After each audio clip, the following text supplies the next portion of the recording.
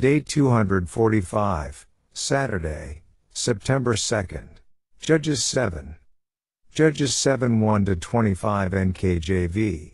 Then Jerubbaal, that is, Gideon, and all the people who were with him rose early and encamped beside the well of Harod, so that the camp of the Midianites was on the north side of them by the hill of Moreh in the valley. And the Lord said to Gideon, The people who are with you are too many for me to give the Midianites into their hands, lest Israel claim glory for itself against me, saying, My own hand has saved me.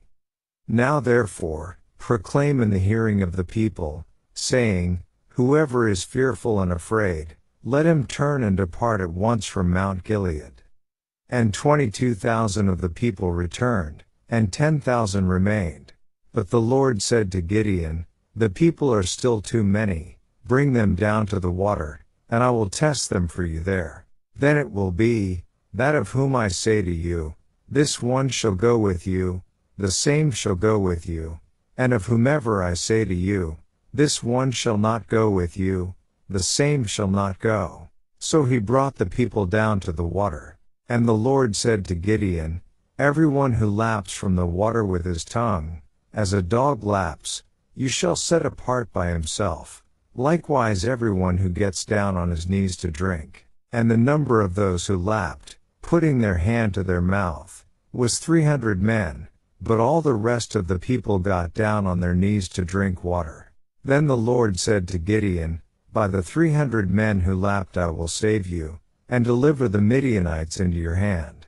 Let all the other people go, every man to his place. So the people took provisions and their trumpets in their hands. And he sent away all the rest of Israel, every man to his tent, and retained those three hundred men. Now the camp of Midian was below him in the valley. It happened on the same night that the Lord said to him, Arise, go down against the camp, for I have delivered it into your hand. But if you are afraid to go down, go down to the camp with Purah your servant, and you shall hear what they say, and afterward your hands shall be strengthened to go down against the camp. Then he went down with Purah his servant to the outpost of the armed men who were in the camp. Now the Midianites and Amalekites, all the people of the east, were lying in the valley as numerous as locusts, and their camels were without number, as the sand by the seashore in multitude. And when Gideon had come, there was a man telling a dream to his companion. He said, I have had a dream. To my surprise, a loaf of barley bread tumbled into the camp of Midian. It came to a tent and struck it so that it fell and overturned, and the tent collapsed. Then his companion answered and said, this is nothing else but the sword of Gideon the son of Joash, a man of Israel. Into his hand God has delivered Midian and the whole camp. And so it was, when Gideon heard the telling of the dream and its interpretation, that he worshipped. He returned to the camp of Israel, and said, Arise, for the Lord has delivered the camp of Midian into your hand. Then he divided the three hundred men into three companies and he put a trumpet into every man's hand, with empty pitchers, and torches inside the pitchers. And he said to them, Look at me and do likewise. Watch, and when I come to the edge of the camp you shall do as I do. When I blow the trumpet, I and all who are with me, then you also blow the trumpets on every side of the whole camp, and say, The sword of the Lord and of Gideon. So Gideon and the hundred men who were with him came to the outpost of the camp at the beginning of the middle watch, just as they had posted the watch, and they blew the trumpets and broke the pitchers that were in their hands. Then the three companies blew the trumpets and broke the pitchers. They held the torches in their left hands and the trumpets in their right hands for blowing.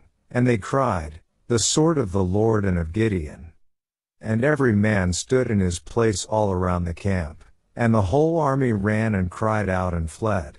When the three hundred blew the trumpets, the Lord set every man's sword against his companion throughout the whole camp.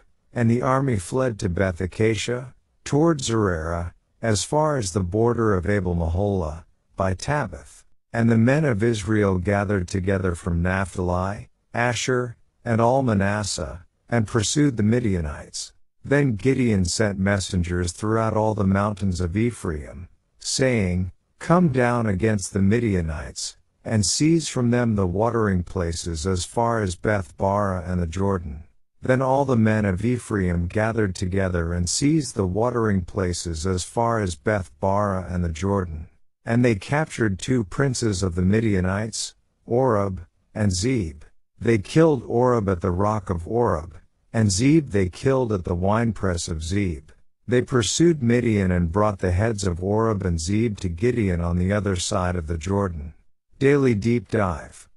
The UCG reading plan states, the army that Gideon gathered numbered 32,000 men, too large for God's purposes. If the battle had been engaged, Israel would have attributed the success of the battle to their large numbers. Therefore, God set about paring down the force. First, those who were afraid of battle would be dismissed.